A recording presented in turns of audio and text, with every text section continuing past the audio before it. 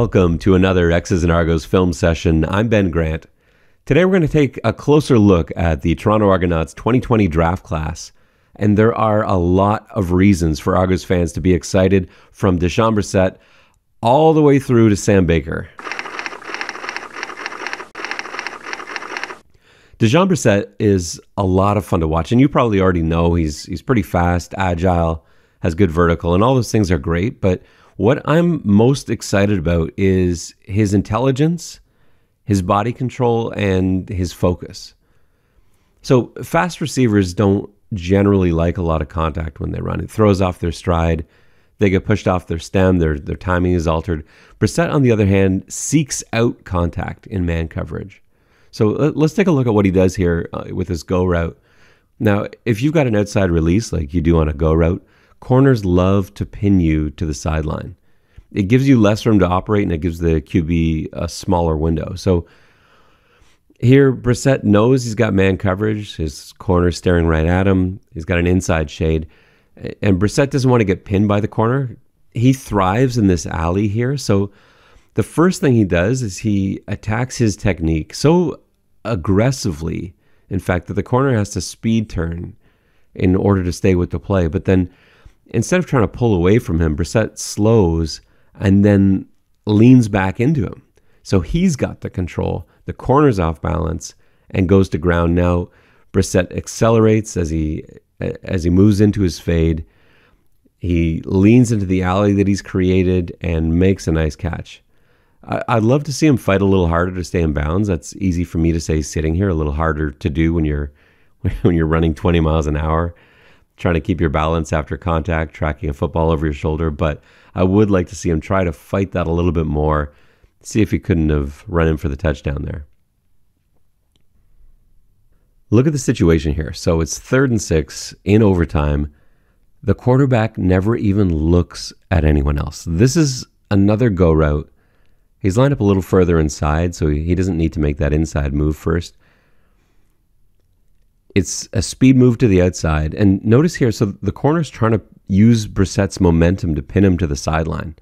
But our guy's going to fight to stay on his stem. He doesn't want to get into this alley until the last second. So he, he knows at this point, he knows where the ball is going to land.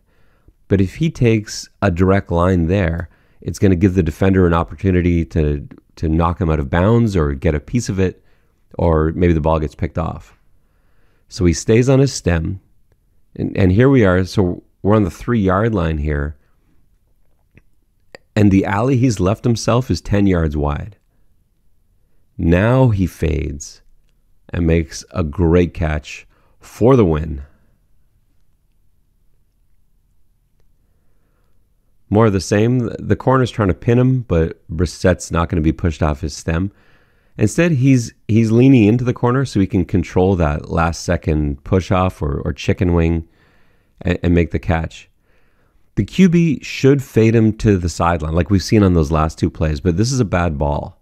It's short, it's inside, and it's got interception written all over it. Brissett maintains contact with the DB because he's comfortable with it, and then he jumps into the corner. So that keeps the corner from getting any lift. Brissett comes down with the football, bails out his QB in the process. It's not really hard to see why QBs look his way on big downs, like his quarterback did here. And you can see how much faith the QB has in him on this play. This is cover three. Brissett finds a little bit of space. The quarterback rifles it It's about it's about ten feet in the air. So either Brissett comes down with it or it ends up in the stands. And look at this ridiculous vertical. This is crazy body control. He secures it before he hits the ground. That's sick.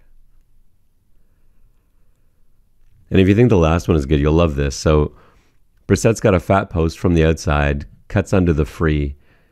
Now this ball is going to be thrown high and behind. This angle here doesn't really do it justice. Here we go.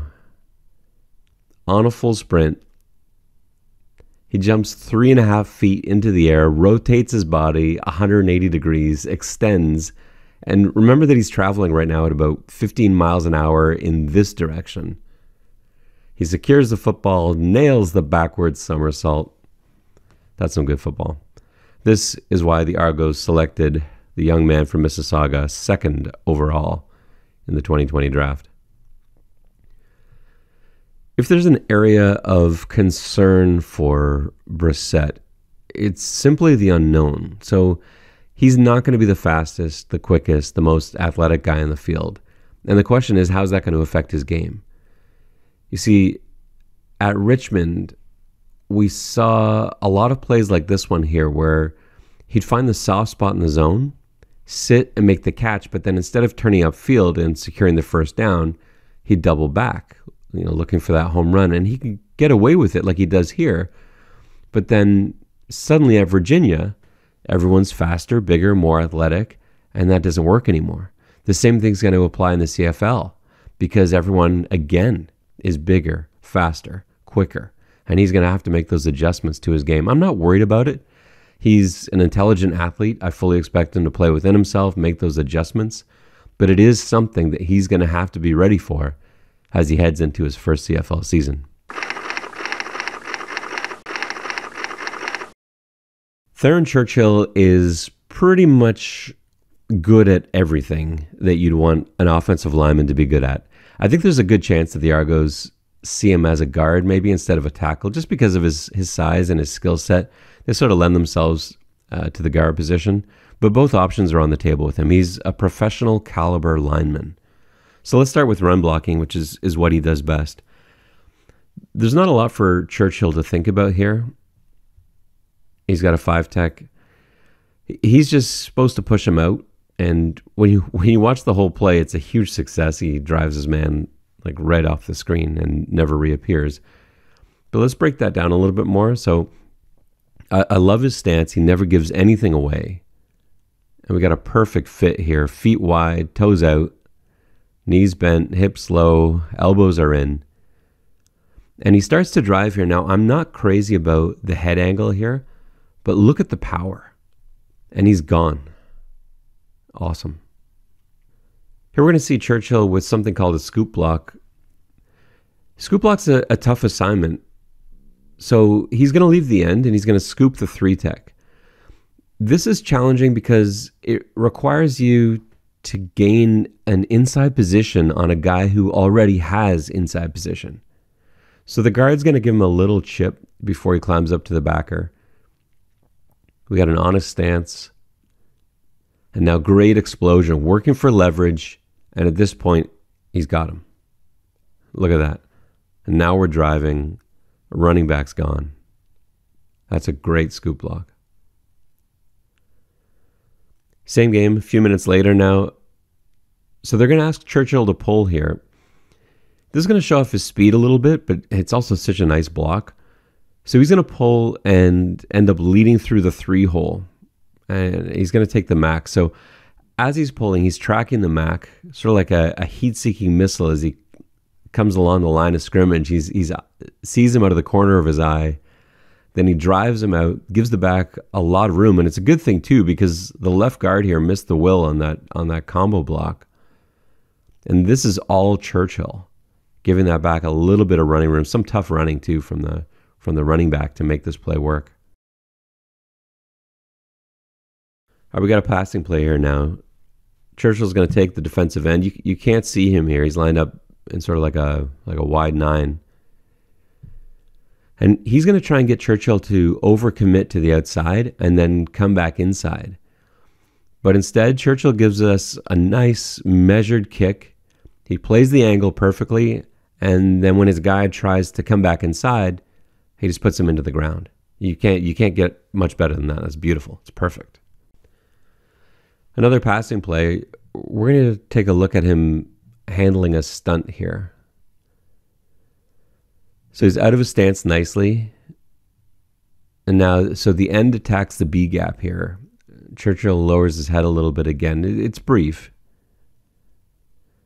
So he's got those long arms, passes the end over to the guard, and then when he sees the, the defensive tackle appear around the outside, he releases the end, picks up the tackle, and it's clean.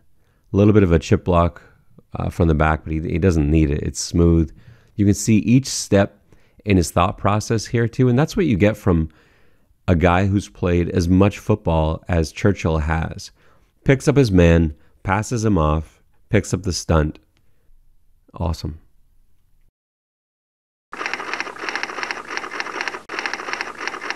When you watch Jack Cassar, you can you can understand every step of, of his thought process if you think of him like a hunter instead of a football player, kind of like a like a General Zaroff, but with a better ending. Cassar is known for his crushing hits, and I'm, I'm sure you've seen a number of them. But his pass coverage is highly underrated, so that's where I want to start here. The big advantage that he has in pass coverage is that he's so good at, at reading body language and player tells that he almost always knows if it's a pass or run before the play starts. The only time you ever really see him fooled is on RPOs, which obviously that makes sense. But it's it's why you so rarely see him take read steps on play action because he knows it's play action and not a run.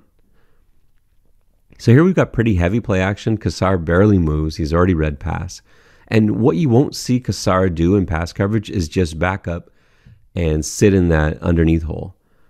So he watches the slot back cross underneath on the drag and then he passes him off and he sees the quarterback move on to his, his next progression. So he snakes back to the right, gets depth because he knows there's got to be a receiver coming back the other way. On he senses this sort of high low concept.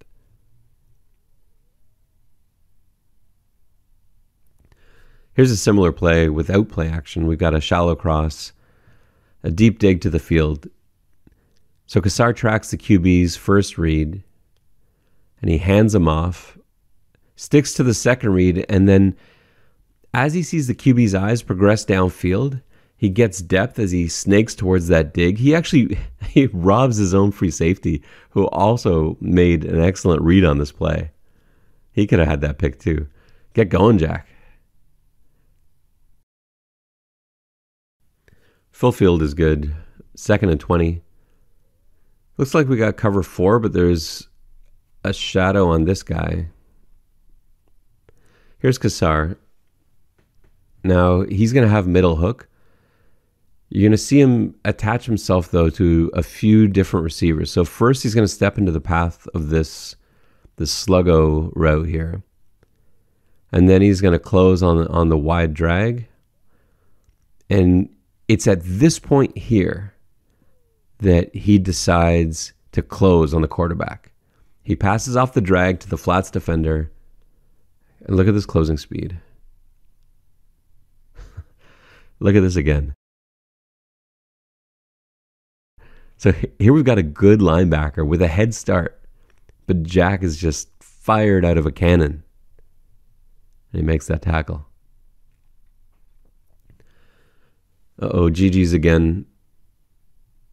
As much as I hate that they've got four guys wearing different colored socks, Carleton has some really cool blitz packages. And Cassar, over his time in Ottawa, has done just about everything you can do on a football field. This is a loop here, nothing too complex, but it's it's an interesting blitz as a middle linebacker. He's lined up on the strong side B, and he's going to end up looping around to the weak side B gap. The timing is crucial on this play. You see him fire through this. this this slot back does not want anything to do with Cassar. He's just this beast of a man coming through. But this is an adjustment that Cassar is going to have to make coming into the CFL. So the quarterback calls the slot in for for protection help, but it's a 170 pound freshman, and he sees this this bear come flying through B, and so he takes off the other way to help the edge. In the CFL, that's it's not going to look like that. It's going to be a guy like Rodney Smith, and he's going to step into you. And so that's just something that Cassar is going to have to be ready for. He can handle that, but it's not going to be the same as it was over the last few years for him in Carleton. Some run defense now. So this is this is Cassar here. Watch his lateral tracking. So he scrapes along the line and then he attacks. Again, his closing speed is just something special. He's scraping at the five yard line. The back is only a yard deep in the end zone, and where do they meet? Right on the goal line.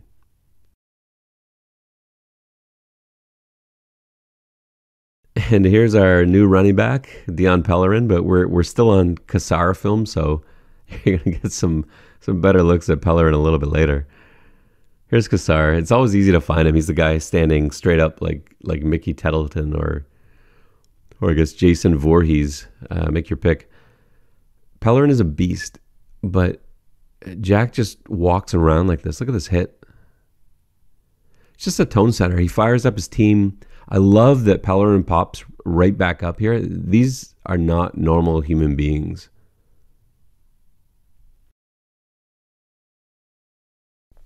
Here's a draw play now. Oh my god. right guard. This is not going to happen this CFL either. Like I was saying before, like Jack is going to have to adjust a little bit because there's such a, a jump inability. Here, this this plays a, a nice illustration of what I'm talking about. So, Jack's going to come flying through B gap, make a stick here. Let's go back here.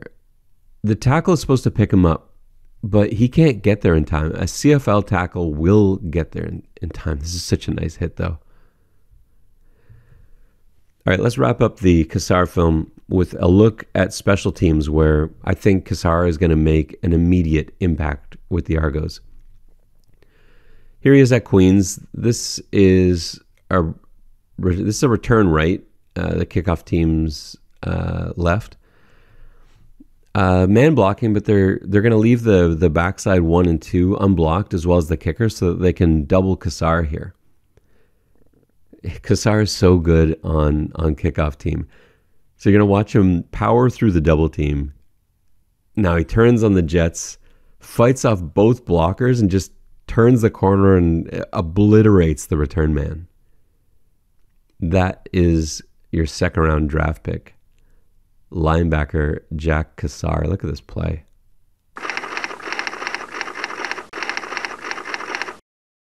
Sam Acheampong is an incredible athlete, incredible athlete. Now, I don't know how long it's going to take him to get CFL ready, but his first step is absolutely elite. So here he is in the three tech. I'm going A gap. Whoops. Yeah.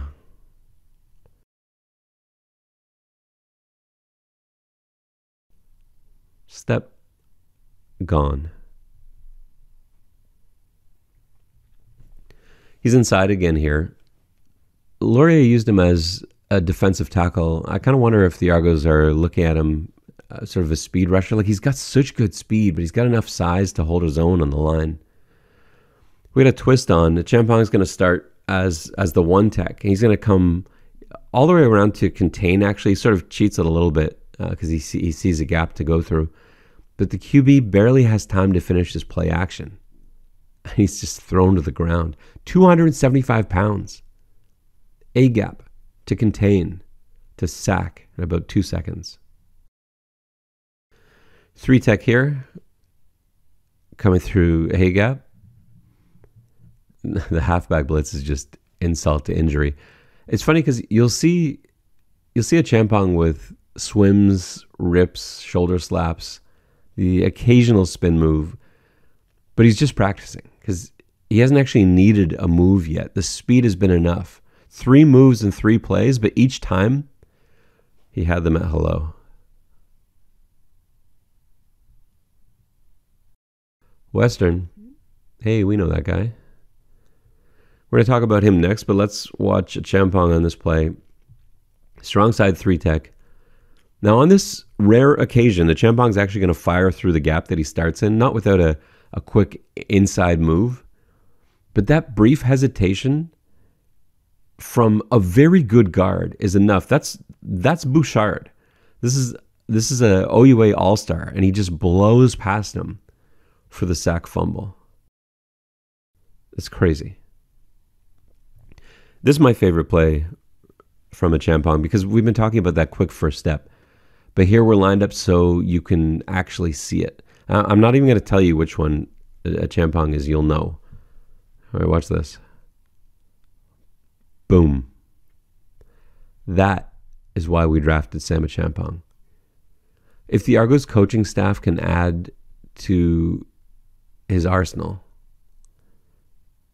we could be looking at an outstanding CFL player in a year or two.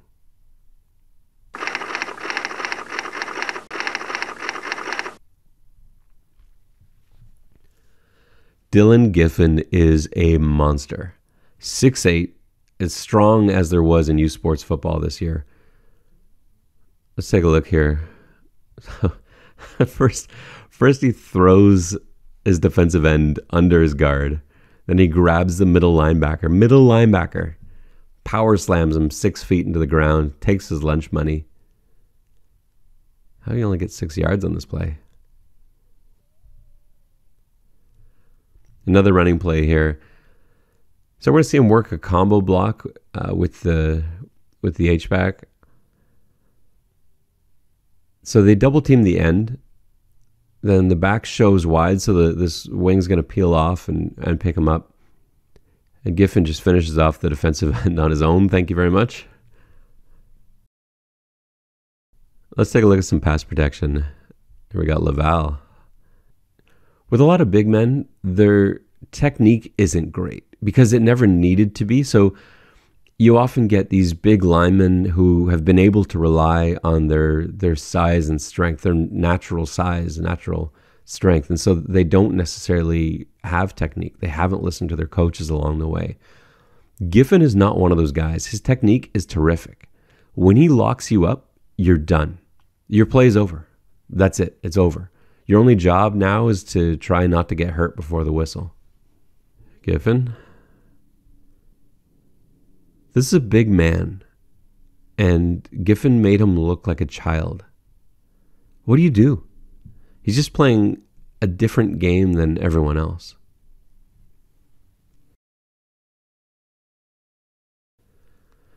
Here's our guy.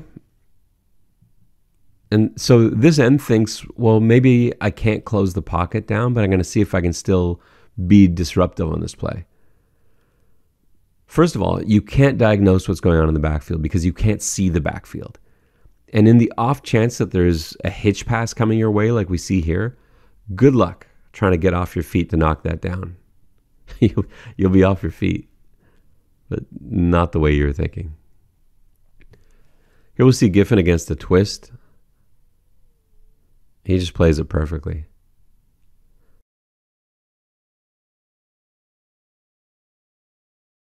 Past the end of the guard, picks up the D tackle, neutralizes the threat. Not only that, like check out Big Man. The play's not finished. He runs around in front of this poor tackle, blocks him again. I wish we could see if he fell to the ground again or not. That's out of the screen. That's good hustle. All right, this is the only area of concern for me with Giffen, and I'm a lot less worried than I was last week. When you watch his film over the past two seasons, he's slow.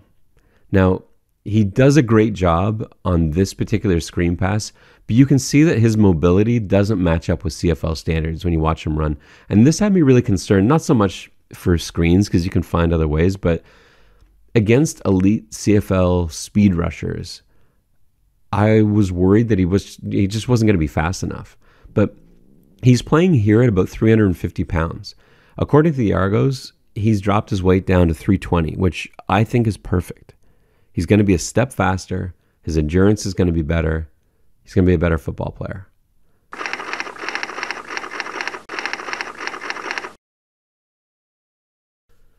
Dion Pellerin is the back you give the ball to when everybody knows you're running. So many of carries over the past four years look something like this five yards, cloud of dust, bodies everywhere, Pellerin standing in the end zone at the end of it all. He's just such an engine. He keeps his balance really well, so you rarely see one guy take him down. He's pretty big too at 225. Here the hole collapses, so he reverses his field, breaks a tackle, breaks another tackle, runs into these guys, breaks another tackle, and he's still on his feet 20 yards later. He doesn't look overly fast on most of his runs, but he can open it up if he gets a chance to build some steam like like we see here. And even if you do catch him from behind, it's going to take more than just an ankle tackle to bring him down. He's such a hard runner, and he's got that balance. Pellerin averaged about two receptions a game at Waterloo. They were mostly screens and leaks, not downfield passes. He doesn't have the most natural hands in the world, so it doesn't always look uh, pretty, but he can catch well enough.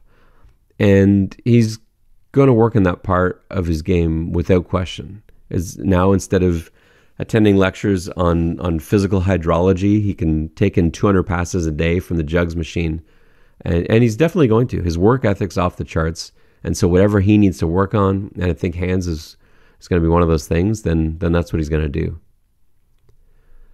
I love Pellerin as a blocker, and I think this is where we'll see an immediate impact from him, probably on special teams. But we got a jet sweep here. Pellerin's going to leave a little bit early. There's a crack that's going to cross in front of him, and now he's got to seal the middle linebacker, or in this case, just knock him flat on the ground. That works too.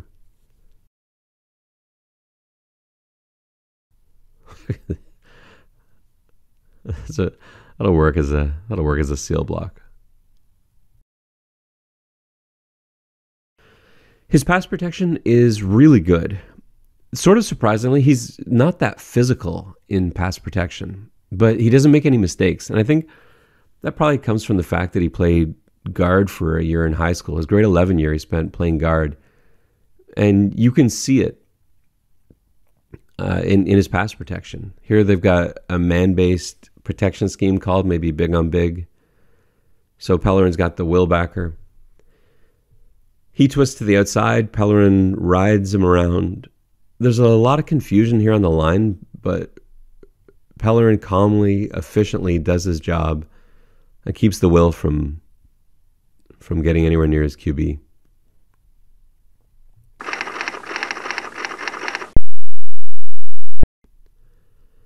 Sam Baker is big at 6'3, 220. He's got great hands, uses his body well to, to box up defenders. And for these reasons, he's incredibly useful in the red zone. Here's Sam. We got cover zero. And this is this is a no-brainer for Nyhus.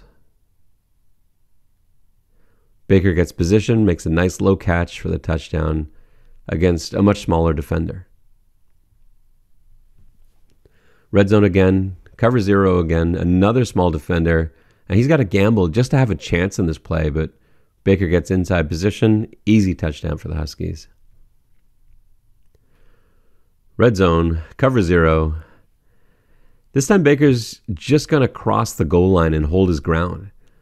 He's not an overly physical player, and that's something that I think he can probably work on a little bit. But once he gets position, he's so big that there's nothing the halfback can do here. And we see those great hands once again. This is the most important clip you're going to see on Sam Baker. And it has nothing to do with what he actually does on this play. It's third and goal from the one. And Coach Flory is head coach and offensive coordinator, a former offensive lineman, third and goal from the one, calls a pass. And Nyhus' quarterback doesn't even hesitate. If I knew nothing else about Sam Baker, that would be enough. You earn that kind of faith in practice, in meetings, in the weight room. He has the full confidence of his coach and of his quarterback. Similar situation, again, it's third down, but it's not third and goal. You're going to see an unselfish route from Baker. A, a lot of receivers wouldn't have turned until they reached the end zone. They're looking for the touchdown. Baker sees the defenders, they're all glued to the goal line. He knows where the sticks are, and he pulls up for the easy first down catch. Then he uses that big body, forces his way in for the touchdown, and the football gods reward the unselfish play. Here he does the same thing, second and four, finds the sticks, has position, but you get to see a little bit of YAC here. Catches the ball, got the first down. His acceleration's a lot better than you'd think for a man his size, and he runs pretty well in traffic too. This is a good athlete we're looking at here. Turns that four yard catch into a touchdown all the way across the other side of the field. Against zone coverage, Baker does a really nice job of running to open space. Uh, that sounds a lot easier than it is. He's not a great route runner, and that's an area in which he can improve. But a lot of Canadian receivers have made CFL careers out of finding space. He's a nice big target coming across the middle, and he's got enough speed to take it in. I feel like teams should play a lot more cover one when Sam Baker, the touchdown maker, is out there. This cover zero doesn't really work. Here we we got zero again. We know what's going to happen. We know where they're going. He gets positioned, boxes out the defender, makes a nice, easy, over the shoulder catch with those soft hands. And we'll end with this one. Another nice touchdown from Sam Baker, but this one comes with a warning for all football players and a lesson he definitely learned that day. Baker's the number two receiver. It's cover three they're going to run a high low on the free, and it really crosses him up. He goes with the underneath guy. Baker's left all alone. He's off to the races. Now, this is a beautiful 83 yard touchdown, but he's both lucky and unlucky on this play.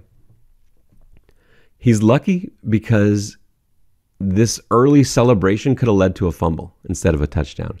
Never celebrate a touchdown until you're in the end zone and the referee has his hands up. He's unlucky because even though it's a touchdown, he's got to go and sit through film the next day, and there is no chance he didn't get his head ripped off by both Coach Flory and his receiver coach, former Toronto Argonaut, by the way, two time Grey Cup champion, by the way, Dwayne Dermatrician. There is no way they didn't go nuts on Sam Baker for that early celebration. That is a mistake I promise he will never make again. And hopefully, he's got plenty of occasions to prove it in the CFL as he continues to score touchdowns, but this time. Thanks for joining me for another X's and Argos film session. I'm Ben Grant. You can read and watch all my stuff at xsandargos.com or find me on Twitter at Ben double underscore Grant. I'll see you next time.